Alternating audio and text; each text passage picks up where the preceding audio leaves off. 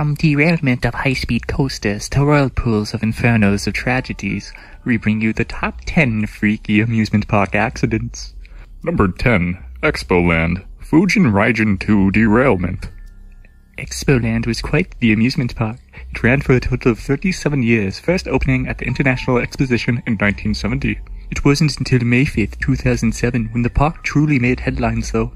Said to be quite possibly Japan's worst amusement park disaster, the Fujin Raijin 2 roller coaster came undone from its rails, killing a teenage student and injuring 19 others. Upon further investigation, it was revealed that the Fujin suffered from a broken axle, which in turn caused the whole predicament. Expoland was eventually at fault for more safety violations, and on December 9th, 2007, closed for good due to lack of park patrons. Number 9. Water World USA. Water Slide Breakdown. Your water slide might not appear to be as dangerous as a roller coaster, but it does not lose its potency for disaster. One fateful day in 1997, a group of 30 plus high school kids went up the slide, and with their combined weight, caused it to come crashing down from a large height. Out of the 33, one died, leaving the others to receive their diplomas in wheelchairs. Number 8. Derby Racer Death Tolls. The Derby Racer was constructed way back in 1911, when safety regulations and inspections were way more lax than they are today. The first of many accidents took place on June 8th when a man was launched from the racer and he plummeted to his death. A couple of years later, in 1917, another man was thrown out of the coaster. Uh, this time, however, the person was thrown onto the tracks, where he was ran over and immediately died. The last accident occurred in 1935, when another person was thrown out. You think they would have fixed that problem by then. The coaster was demolished in 1936, succeeded by another racing roller coaster of the same name, until it was once again demolished in 1948. Number 7. Action Park, The Grave Pool. Having one of the most intense nicknames, the Grave Pool has been the cause of three deaths over its tenure. The pool was actually the first turbulent water pit of the era.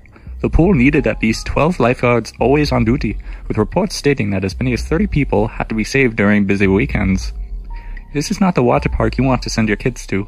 The park was shut down in 1996 for obvious reasons, and subsequently reopened as Mountain Creek Water Park in 1998. They changed the name back to Action Park in April of 2014, with a focus on safety this time around. Number 6. Middlemoor Water Park, Catapult of Death.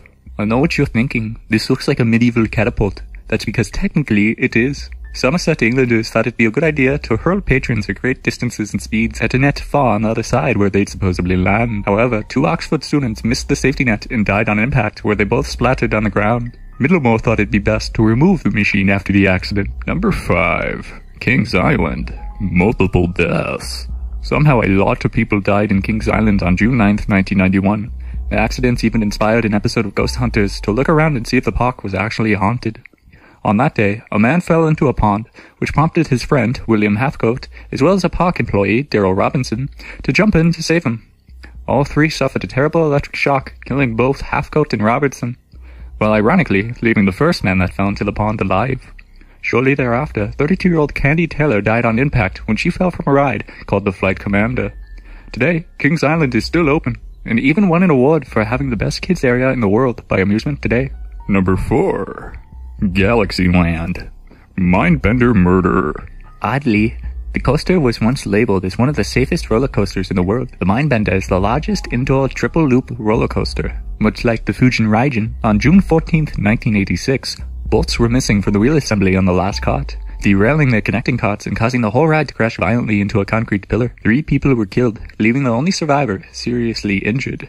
Number 3. Battersea Funfair. Big Dipper Disaster. A terrible roller coaster accident occurred May of 1972 during London's Battersea Park Fun Fair. The Big Dipper was a poorly maintained wooden roller coaster. It served as the main attraction of the park. During a run, the rope that supports the carts up to the slope to launch snapped. What's more, the anti-rollback component failed. This made a string of carts rush backwards into a wall, killing five children while injuring 13 others. The Battersea Fun Fair later closed two years later due to the accident. Number 2.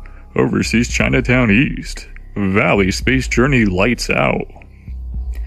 Valley Space Journey was supposed to simulate a rocket launch. However, on June 29, 2010, one of the cars came loose and as if something from Final Destination, due to a bad screw, completely lost power. The dome then started an electrical fire and subsequently fell with more than 44 people inside. Reports show that six people were killed and five were critically injured. Number 1. Six Flags Great Adventure. Castle on Fire. The worst accident did not occur on a roller coaster, surprisingly. No, the worst accident occurred in a Six Flags haunted house. The whole ordeal occurred one fateful day on May 11, 1984, when the castle bursted into flames. The flames reportedly reached a temperature of 2000 degrees, which melted the metal interior. Most of the people inside the castle made it out alive. However, eight teenagers were trapped and died in the inferno. The park was subsequently sued and were brought up on charges for their safety precautions.